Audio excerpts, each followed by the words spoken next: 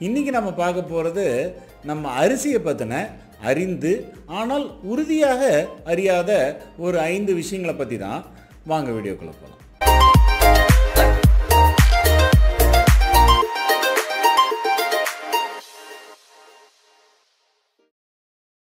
இந்த பதிவினை கண்டு கொண்டிருக்கும் அனைத்து நண்பர்களும் வாழ்க வளமுடன். நானுங்கள் டாக்டர் அருண் கார்த்திக். சவுத் இந்தியாவை குறிப்பாக தமிழ்நாட்டோட ஸ்டேபிள் ஃபுட்டே அரிசி தான் அரிசி இல்லாத வீடு இருக்காது அரிசி சாப்பிடாத வீடு இருக்கவே முடியாது. அந்த அளவுக்கு அரிசி ஊடுருவி போச்சு. ஆனால் டயபெட்டிஸ் வந்ததுக்கப்புறம் அரிசியை ஒரு பெரிய வில்லனாக நம்மலாம் பார்க்குறோம். ஆனால் அப்படி அவ்வளோ பெரிய வில்லனாக இருந்தும் சிறுதானியம் மாருங்கன்னு இத்தனை சொல்லியும் அரிசியை நம்மளால் தவிர்க்க முடியறது ரொம்ப ஒரு கஷ்டமான ஒரு காரியமாக இருக்குது இவ்வளோ வருஷமாக பழகிட்டதுனால. சரி இப்படி இருக்கும் பொழுது ஒரு டயபெட்டிக் பேஷண்ட் அரிசி சாப்பிடலாமா வேண்டாமா? அப்படி சாப்பிட்டா எப்படி சுகர் ஏறாத மாதிரி சாப்பிட்றது? அப்படிங்கிறத பற்றி தான் அடுத்தடுத்து நான் சொல்ல போகிறேன் வாங்க தெளிவாக பார்க்கலாம். அதில் நம்பர் ஒன் விஷயம். எந்த அரிசி வாங்கலாம் எந்த அரிசி சாப்பிட்லாம்? இது நம்பர் ஒன் ஃபஸ்ட்டு பாயிண்ட்டு நம்ம ஏற்கனவே ஒரு வீடியோ டீட்டெயிலாக இதை பற்றி செஞ்சுருக்கோம் போய் பாருங்கள் இதில் ஒரு ப்ரீஃபாக சொல்லணும்னா எந்தெந்த அரிசியோட விதையெல்லாம் நீளமாக இருக்கிறதோ அந்த கிரெயின் நீளமாக இருக்கும் பொழுது அதோட சுகர் ஏறும் தன்மை குறைவாக இருக்கும். உதாரணத்துக்கு இருக்கிறதுலே லோ கிளைசிமிக் இண்டெக்ஸ்னு பார்த்தாக்கா பாஸ்மதி அரிசி தான் இருக்கிறதுலே ஹை கிளைசிமிக் இண்டெக்ஸ் அதாவது அதிகமாக சுகர் ஏறணும்னா கொரோனா அரிசி தான் ஸோ அந்த வகைகளில் லென்த்துக்கு பார்த்தோம்னு சொன்னாக்கா பாஸ்மதி அரிசி ஃபஸ்ட்டு அது அதுக்கு அடுத்தது வந்து பார்த்தீங்கன்னா மேபி பொன்னி அரிசிக்கு வரலாம். அதுக்கு அடுத்தது ஐயா அறுபதுக்கு போகலாம் குரநாய்க்கு போகலாம். அதுக்கு நடுவில் ஒரு சீரக சம்பா வரும். இப்படி சைஸை பொறுத்து அடுத்தடுத்து பெட்டர் ஆகிட்டே போகும் நமக்கு. இருக்க இருக்க சைஸ் குறைய குறைய அதோட சுகர் ஏறும் தன்மை அதிகமாக இருக்கும். ஸோ அதனால் நீங்கள் சாப்பிட்ணுன்னு நினச்சா அதில் பெஸ்ட்டு சாய்ஸாக இருக்க போகிறது பாஸ்மதி தான். ஆனால் பாஸ்மதி எல்லாராலையும் சாப்பிட முடியுமோ? முடியாது. அப்படி இருக்கும்போது அடுத்த ஆப்ஷன்ஸ் என்னென்ன? அப்படிங்கிறதுக்கு முன்னாடி அடுத்த முக்கியமாக சுகர் ஏறும் தன்மையுடைய ஒரு முக்கியமான விஷயம் கன்சிஸ்டன்சி அதோட பசவுத்தன்மை பொதுவாக அரிசியோட பசவைத்தன்மை எவ்வளோ எவ்வளோ ரொம்ப நோவு நோவுன்னு ஆகுதோ வேக வச்சோம்னா அவ்வளோ அவ்வளோ அதோட சுகர் ஏறும் தன்மை அதிகமாகும். ஏன்னா அமைலோ பெக்டின் அப்படின்னு சொல்கிற ஒரு விதமான ஸ்டார்ச் அதில் இருக்கிறனால தான். அந்த கணக்குப்படி பார்த்தா நம்ம எக்ஸாம்பிள்ஸில் எடுத்துக்கிட்டோம்னா பொன்னியோட பசவுத்தன்மை கொஞ்சம் குறைவு ஐயாறு இருபதோட பசவுத்தன்மை கொஞ்சம் இட்லி அரிசி அதோட பசவுத்தன்மை கொஞ்சம் அதிகம். நிறைய வீடுகள் ஐயாறு இருபதே சாப்பாட்டுக்கு சமைச்சு சாப்பிட்றது உண்டு. ஆனால் அதை விட பெட்டர் எப்போவுமே பொன்னி அரிசி தான் சாப்பாட்டுக்கு சமைக்கும்போது பொதுவாக நம்ம ஊர்லலாம் அதுதான் பழக்கமாக இருக்கனால ஐயாயிரம் பெட்டரா பொன்னி பெட்டரான்னு கேட்டால் கண்டிப்பாக பொன்னி தான் பெட்டர் இது ரெண்டாவது. அடுத்தது புழுங்கல் அரிசியா பச்சரிசியா இந்த கேள்வி ஒரு காமனான கேள்வி. புழுங்கரிசி சாப்பிடலாமா பச்சரிசி சாப்பிடலாமான்னு கேட்டால் பொதுவாக பிராமணர்கள் பச்சரிசி நிறையா சாப்பிட்றது உண்டு. ஆனால் புழுங்கல் அரிசி எப்பொழுதுமே பெட்டர் காரணம் என்னென்னா அது ஏற்கனவே ஒரு தடவை புழுங்க வச்சிட்டதுனால வெளியில் இருக்கிற ஓடோட பி காம்ப்ளெக்ஸ் எல்லாம் அந்த பிரான் அப்படின்னு சொல்லுவாங்க அதோட பி காம்ப்ளெக்ஸ் எல்லாம் உள்ளே போயிடுது அதனால் அதோட நியூட்ரியன்ஸும் நம்ம கிடச்சிருது. சுகர் ஏறும் தன்மையும் பச்சரிசியை விட கொஞ்சம் குறைவாகவே இருக்கும். ஸோ அதனால் புழுங்கல் அரிசி எப்பொழுதுமே பச்சரிசியை விட பெட்டர் அதுக்கு அடுத்ததாக ரேஷன் ரைஸு வெள்ளை ரைஸ். இது ரெகுலராக கேட்கப்படுற ஒரு கேள்வி. டாக்டர் ரேஷன் அரிசி சாப்பிட்லாமா? சுகர் ஏறாதா? அப்படிங்கிறது. உண்மையாக சொல்ல போனோம்னா ரேஷன் அரிசிக்கு அதிகாரப்பூர்வமாக கிளைசிமிக் இண்டெக்ஸ் ரிசர்ச் பண்ண மாதிரி தெரியல. லிட்ரேச்சர் எதுவும் கிடைக்கல. ஆனால் ஒரு விஷயம் தெளிவாக தெரியும். ரேஷன் அரிசி நம்ம ரெகுலர் அரிசி அளவுக்கு பாலிஷ் பண்ணுறதில்ல ஏன்னா ஸ்மகிள் பண்ணுற எல்லாருமே இந்த ரேஷன் அரிசி கடத்துறாங்க பாருங்கள் அவங்க எல்லாருமே ரேஷன் அரிசியை ஒரு தடவை பாலிஷ் பண்ணி தான் மார்க்கெட்டில் விற்கிறாங்க ஸோ பாலிஷிங் குறைவாக இருக்கிற ஒரே காரணம் காரணத்தினால கூட ரேஷன் அரிசி சுகர் வந்து வெள்ளை அரிசியை விட குறைவாக ஏறும். ரேஷன் அரிசி சாப்பிட்டு பார்த்தோம்னாலும் நீங்கள் பார்த்தீங்கன்னு சொன்னாக்கா சாதாரண மார்க்கெட்டில் கிடைக்கிற பொண்ணு அரிசியை விட கொஞ்சம் மென்று சாப்பிட்ற கொஞ்சம் இதாகவே இருக்கிற மாதிரியும் கொஞ்சம் ஹார்டாக இருக்க மாதிரியும் இருக்கும். அது ஆக்சுவலாக நமக்கு நல்லது. எவ்வளோக்கு எவ்வளோ ஹார்டாக இருக்கோ அது எவ்வளோக்கு எவ்வளோ வேவ ஏற்காடு கம்மியாக இருக்க மாதிரி இருக்கோ அவ்வளோக்கு அவ்வளோ சுகர் நமக்கு ஏறும். அந்த கணக்குப்படி பார்க்கும்பொழுது ரேஷன் அரிசி வெள்ளரிசியை விட பெட்டர் அதுக்கு அடுத்தது கைக்குத்தல் அரிசியா சாதா அரிசியா? இது எல்லாத்துக்கும் ஓரளவுக்கு தெரியும். கைக்குத்தல் அரிசி எப்பொழுதுமே சாதா அரிசியை விட பெட்டர் ஏன்னா அந்த ப்ரௌன் ரைஸ் தான் கைக்குத்தல் அரிசி வேற ஒன்றும் இல்லை. அதில் இருக்கிற மேலே இருக்கிற அந்த அவுட்டர் லேயரான பிரான் நமக்கு வேஸ்ட் ஆகிறதே இல்லை. அதனால வந்து அந்த பிரானோடு இருக்கனால வெளியே இருக்க அவுட்டர் லேயரோடு இருக்கனால நமக்கு வந்து சுகர் ஏறும் தன்மை வெகுவாக குறைந்து விடுகிறது. அதனால எப்பொழுதுமே ப்ரௌன் ரைஸ் கைக்குத்தல் அரிசி வெள்ளை அரிசியை விட பெட்டர் அதுக்கு அடுத்தது கருப்பு கோணி சாப்பிட்லாமா? இது ரெகுலராக கேட்குறது உண்டு கண்டிப்பாக சாப்பிட்லாம். நல்ல விஷயம் என்னென்னா கலர் எவ்வளோக்கு எவ்வளோ ஜாஸ்தியாக இருக்கோ அவ்வளோக்கு அவ்வளோ ஒரு அரிசியோட சுகர் ஏறும் தன்மையும் குறைவாக இருக்கும். கருப்பு கவுனி உதாரணத்துக்கு எடுத்துக்கிட்டால் கருப்பு கலரில் இருக்குது அதே போல் அதில் நார் சத்து ரொம்ப அதிகம். அதனால் கருப்பு கவுனி வந்து கம்பேரிட்டிவ்லி ஒரு கருப்பு கவுனிக்கு அடுத்தது மாப்பிள்ளை சம்பா மாப்பிள்ளைக்கு அடுத்த சப்பா பொன்னி இந்த மாதிரி கலர் வந்து வெள்ளையாக சுகர் ஏறும் தன்மையும் கூடிட்டே போகும். அந்த வகைக்கு பார்த்தோம்னா இந்த கருப்பு கவுனி அரிசி கண்டிப்பாக நல்லது தான் தான் அதாவது சுகர் ஜாஸ்தி ஏறாது ரொம்ப குறைவாக தான் கிளைசிமிக் இண்டெக்ஸ் முப்பதுலேருந்து நாற்பதுக்குள்ளே தான் தாராளமாக கருப்பு கவுனி அரிசியை நம்ம சாப்பிட்டுக்கலாம்.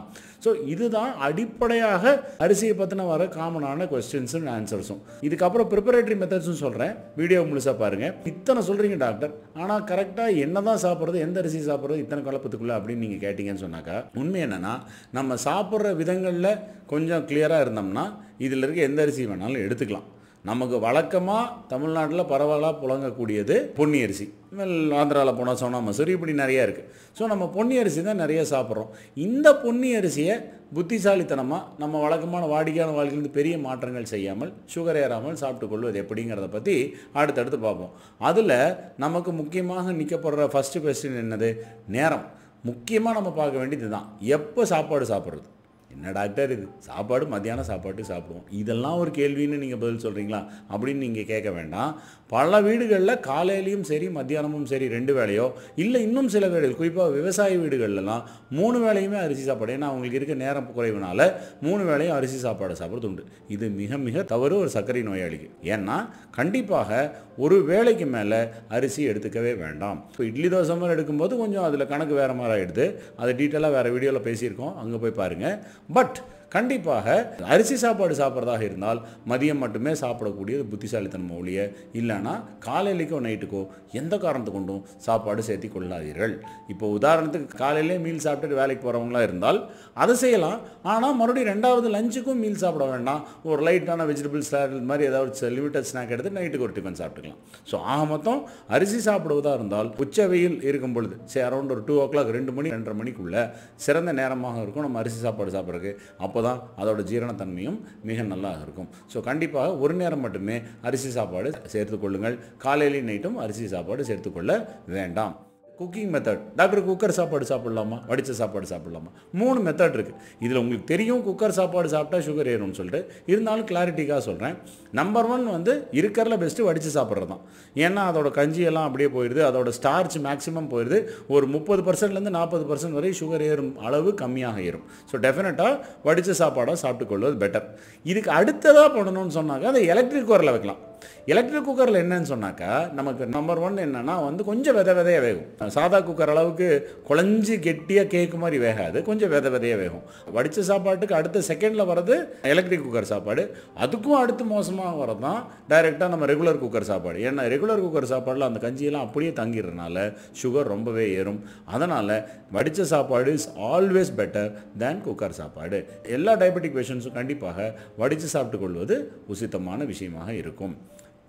டாக்டர் வடித்து சாப்பிட்றக்கெல்லாம் நேரம் இல்லை. ரெண்டு பேரும் ஆஃபீஸ் போகணும் இப்போ என்ன பண்ணுறது இதுக்கு எதாவது வழி சொல்லுங்களேன். ஈஸியான வழியாக அப்படி சொல்லுங்களேன்னு கேட்டாக்கா that beans as to point number three நம்ம கூட சேர்த்துற அடிட்டிவ்ஸ் எவ்வளோ சாப்பாடு சேர்த்தலாம்? நம்ம ரைஸ் சாப்பிட்றதுன்னு முடிவு பண்ணியாச்சு.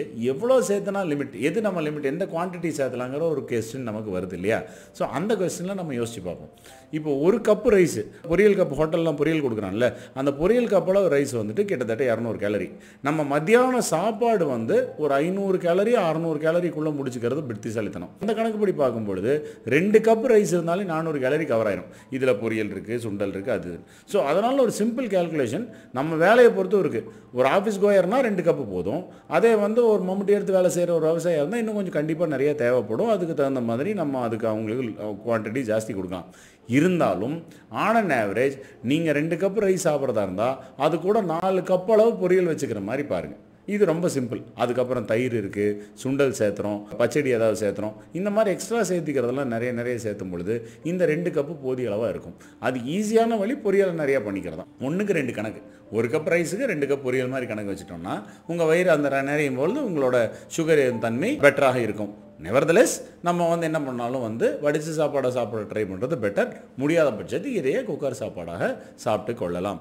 ஃபைனல் பாயிண்ட்டாக இருக்கிறது. இதெல்லாம் சரி இந்த குக்கர் இந்த சாப்பிட்ற மெத்தட்ஸ் எல்லாம் நம்ம பேசிட்டோம்ங்கும்போது கஞ்சி குடிக்கலாமா?